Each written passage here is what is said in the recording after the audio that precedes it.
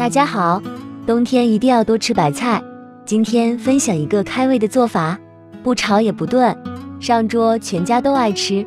全部切好后放入大碗中，倒入适量的北方自来水，用干净的小手洗一下。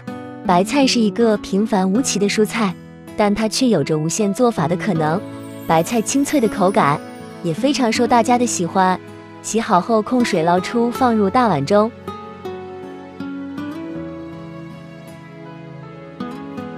往里面加入两勺食盐，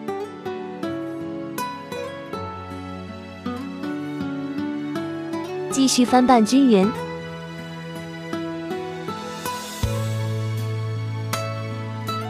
先放一旁腌制五分钟。去皮的大蒜切成蒜片。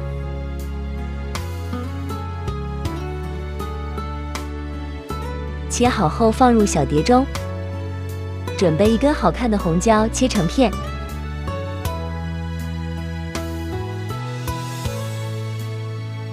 切好后和蒜片放一起，几根自家种的小葱切成小段。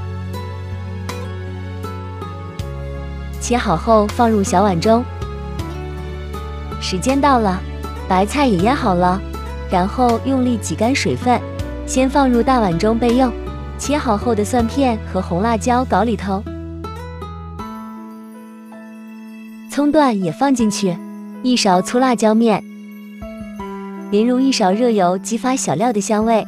调味加入一勺生抽，一勺白糖，适量的蚝油。戴上手套翻拌均匀。朋友们，我每天都用心教做菜，如果您的手机还有电。麻烦伸出小手给我点个赞吧，您的鼓励是我创作的动力，感谢大家的支持，像视频这样就可以了。